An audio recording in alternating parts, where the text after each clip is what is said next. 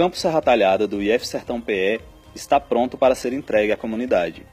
A estrutura conta com 12 salas de aula, 8 laboratórios, biblioteca, auditório, anfiteatro, ginásio poliesportivo e refeitório.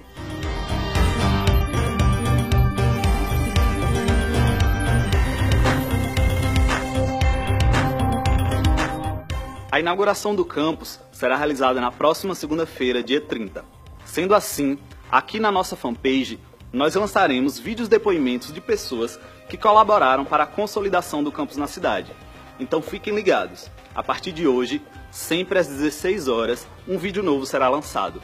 Instituto Federal de Educação, Ciência e Tecnologia do Sertão Pernambucano. Educação gratuita e de qualidade para mais pessoas do nosso sertão.